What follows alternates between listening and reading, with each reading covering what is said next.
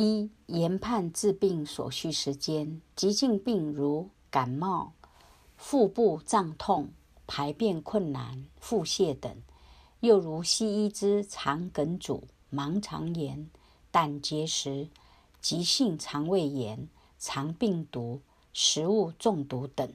或一般急性外伤，如红肿、破皮、出血等，约一至七天；急性病如体力虚弱或严重急性外伤，如烫伤、毒液灼伤、肌肉肿胀撕裂、骨折等，约十至三十天。慢性病如行动迟缓、全身无力、异常疲惫、声音微弱、面无光泽。肢体冰冷、肢体水肿、肌肉萎缩、肌肉腐烂坏死等，又如西医之类风湿性关节炎、帕金森氏症、小脑萎缩症、梅结综合症、自闭症、植物人、渐冻人、红斑性狼疮、牛皮癣等，约一至三个月；最严重者约三至六个月。若通过原始点所有方法，经半年仍无效，甚至恶化，则属难治之病。好，到这里再谈这个，只有原始点。西医是根本很多病是治不好的，他连时间也就不要提了。中医连这个能不能治，他们也不是很清楚。然后多久能治出来？所以我当医生的，呃，开始的时候就有同道前辈跟我讲一句话。你千万不要跟患者预测时间多久会好，那只有在路边卖药的才可以这样讲。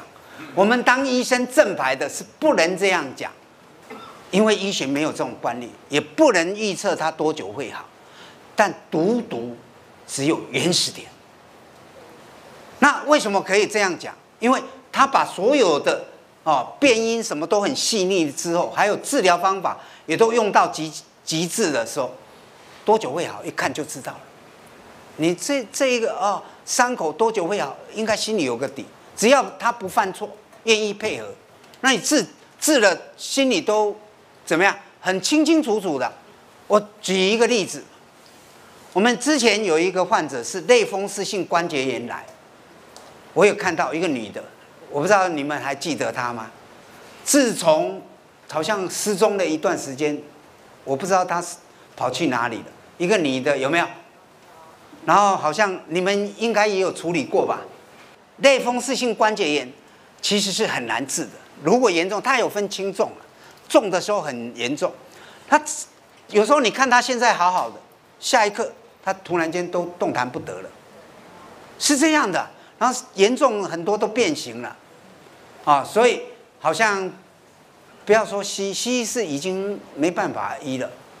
但是现在，如果是我，我来看这种病，我就很笃定，快者三个月，慢者三到六个月也可以好，就是用这样来预测。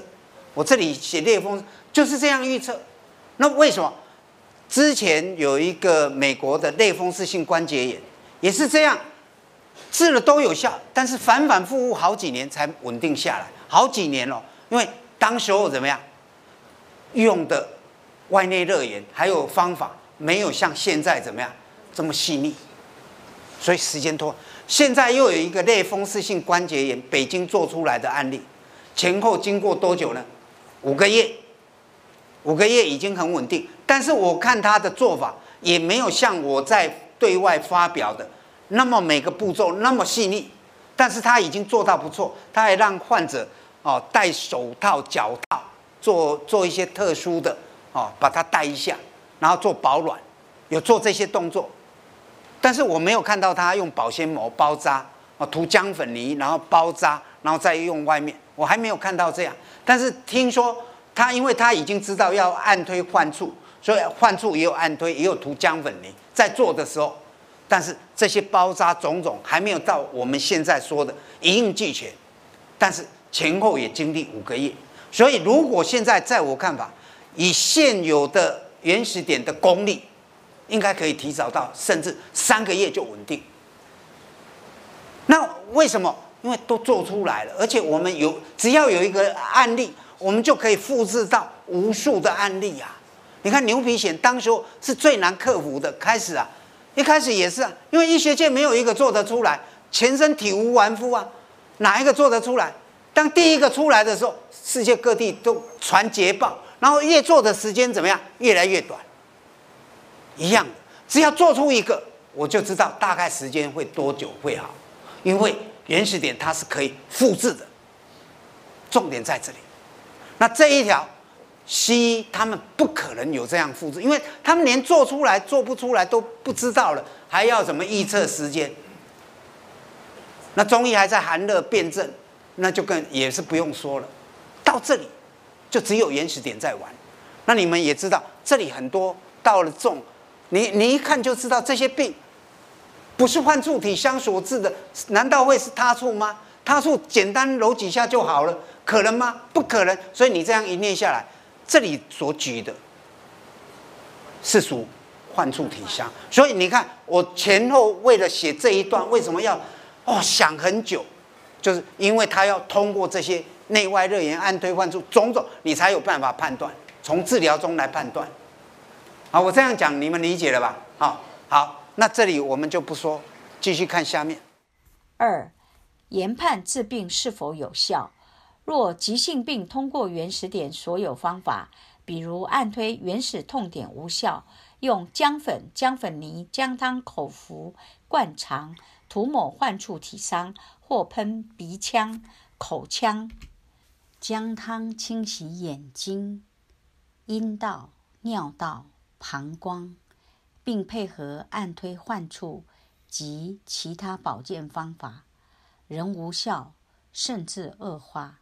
或慢性病通过原始点所有方法，经半年仍无效，甚至恶化；或非原始点所能处理的急性外伤组织受损之症状，如脱臼、断肢、粉碎性骨折、大量出血等，以上均属患处体伤所致之症状，且皆已超过身体能够自我疗愈的范畴。这些原始点处理无效甚至恶化的症状，除脱臼可寻求中医协助外，其余需审慎评估从果处理是否有效。若有，交由西医治疗；若否，最好安于现状。除此之外，所有疾病症状皆适合以原始点医学处理。此治疗范畴。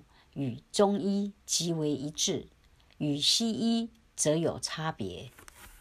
西医是从果治病，主要以仪器检查出来的异常及组织受损作为诊疗对象，其特色是擅长治疗急性外伤，也能治疗患处体伤所致之症状。但其最大的问题是老病不分。将身体衰老的异常当成疾病之因或疾病本身，无端的使病人变多。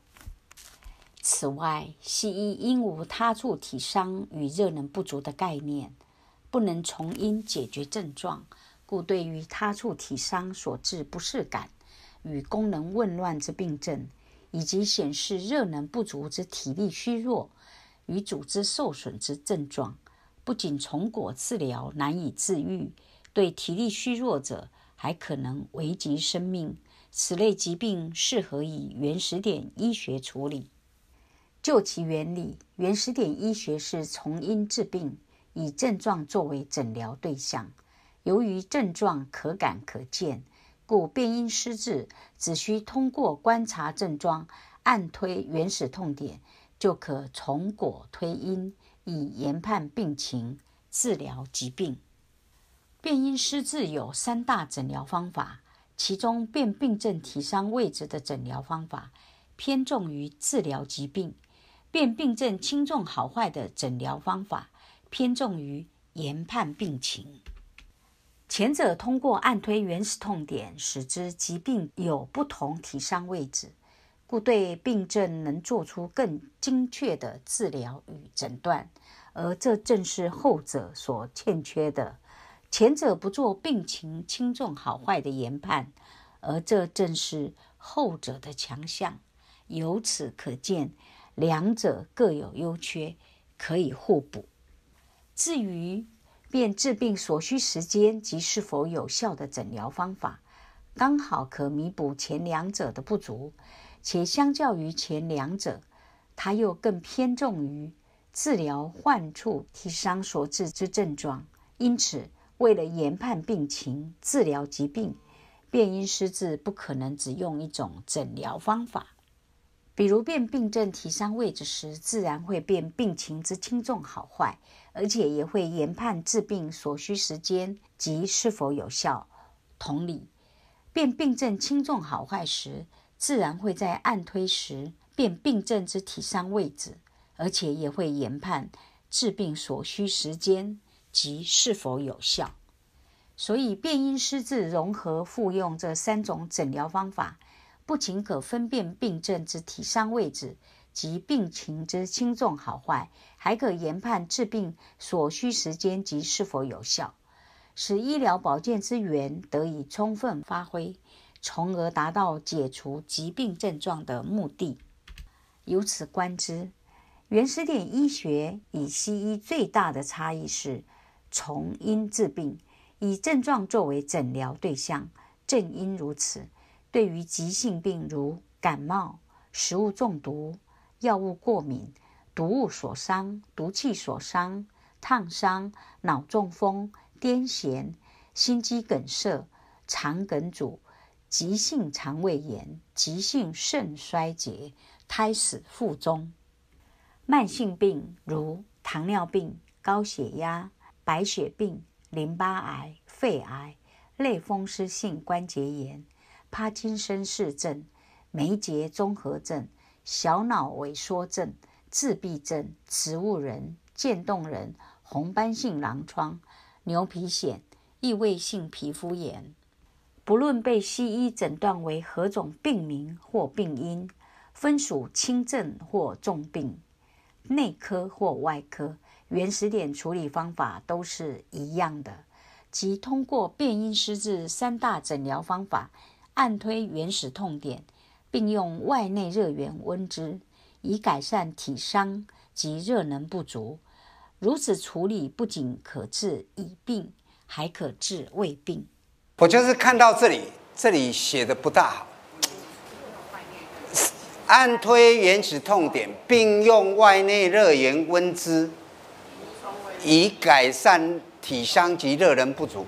我觉得，因为他既然用到三大诊疗方法，而且又是患处体伤，光按推还有外内热源够不够？不够啊，还要怎么样配合按推患处啊？是不是？还有其他保健方法，像重病，所以这里应该怎么写？就是温之去掉，并用外内热源及其他保健方法，这样就完整了。所以你看哦，有时候用词遣字哈。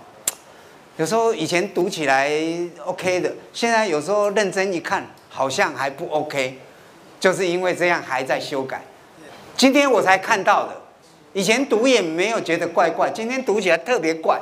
这这里温知是是不是应该去掉？你们觉得呢？因为我在辨治病所需时间及是否有效那一段我已经讲得很清楚，它是要通过什么？按推原始痛点，外内热源，还有什么？按推患处，还有其他保健方法有没有？都有用啊。那这里三既然三大诊疗方法，怎么能这样写？有没有可对不对？所以要前后一致。这里就是我的问题了。所以哦，有时候我的文笔还不是很好，然后写有时候很轻易写过去，但是要写到很精准，确实很难。我们没有时间，我们就把它念完好不好？因为每。里面有一些小部分都有修改过。好，你们继续念。换言之，若无病症，可从一条脊椎及七处部位找出原始痛点，按推，并用外热源温之，以达到治胃病的目的。若有病症，可从病症部位找出相对应之原始痛点，按推。按推后若有改善。仍需配合外热源温之，以达到解除他处体伤所致病症的目的。按推后若无改善，则此病症系属患处体伤所致。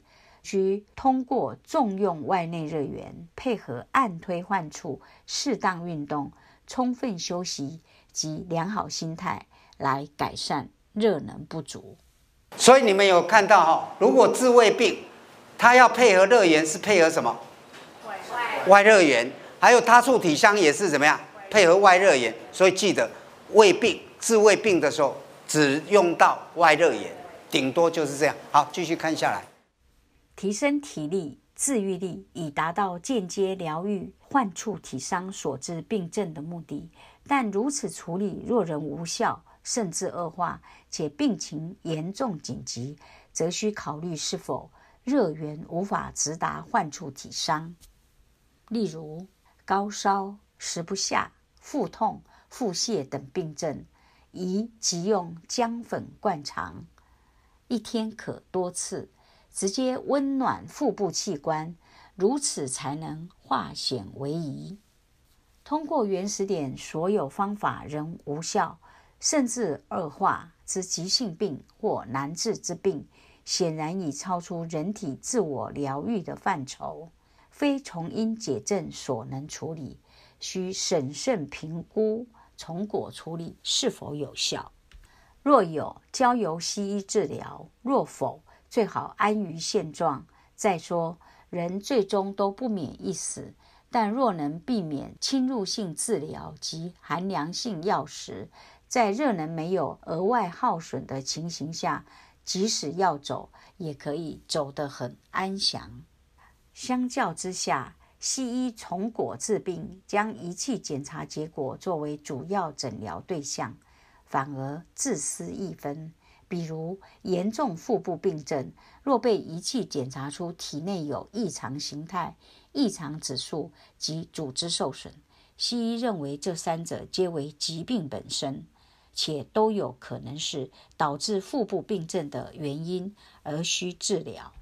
但原始点从变因的诊断角度深入分析，仪器检查出来的，除组织受损属疾病之外，其余所有异常并非疾病本身，症的不适感、功能紊乱及体力虚弱，羽状的组织受损，故非疾病而属衰老，不可作为治疗对象。